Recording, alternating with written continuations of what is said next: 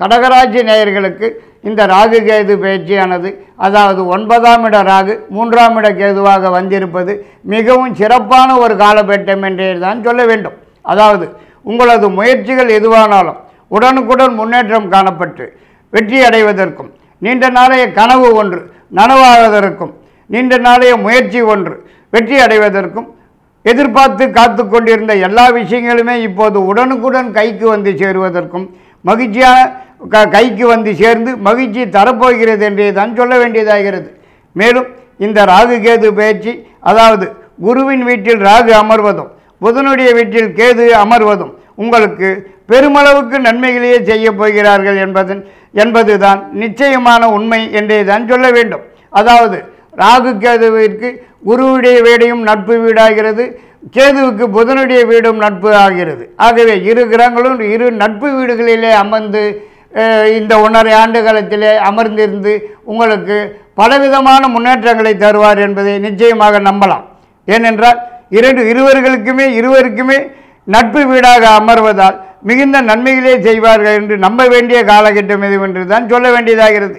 அதாவது இதுவரைக்கும் தடங்கல்கள் தடைகள் முட்டுக்கட்டைகளாக இருந்து வந்திருந்த விஷயங்கள் அத்தனை விஷயங்களுமே இப்போது உடனுக்குடன் சாதகமாகவும் வெற்றியுடனும் நடந்தேறிடும் என்பதிலே எந்த விதமான சந்தேகத்துக்கும் இடமில்லை என்று தான் சொல்ல வேண்டும்.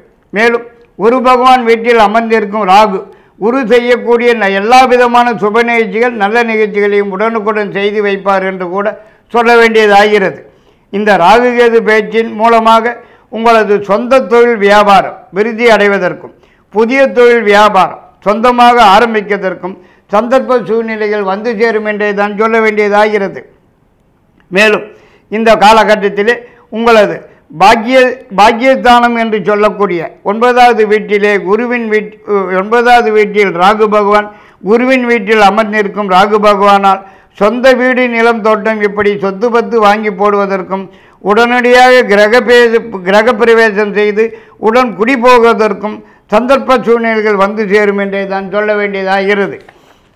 மற்றும் இப்போது கடகராசிக்காரர்கள் அடிக்கடி கோயில் குளம் என்று வெளியூர் அல்லது வெளிநாட்டுக்கு சென்று தரிசனம் செய்து வருவதற்கும் தங்களது நீண்ட நாளைய குலதெய்வ வழிபாட்டினை நிறைவேற்றிக் கொள்வதற்கும் சந்தர்ப்ப சூழ்நிலைகள் வந்து சேருவதற்கு அதிகப்படியான வாய்ப்பு இருக்கிறது என்று தான் சொல்ல வேண்டியதாகிறது மேலும் இந்த ராகுகேது பேச்சின் போது இதர மற்ற கிரக நிலவரங்களும் கூட உங்களுக்கு சாதகமான இடங்களிலேயே காணப்பட்டு வருவதால் எல்லா வகையிலும் சிறப்பான யோகமான விசேஷமான நல்ல பலன்களை தரக்கூடும் என்பதிலே எல்லளவும் சந்தேகமில்லை என்று தான் சொல்ல வேண்டியதாகிறது.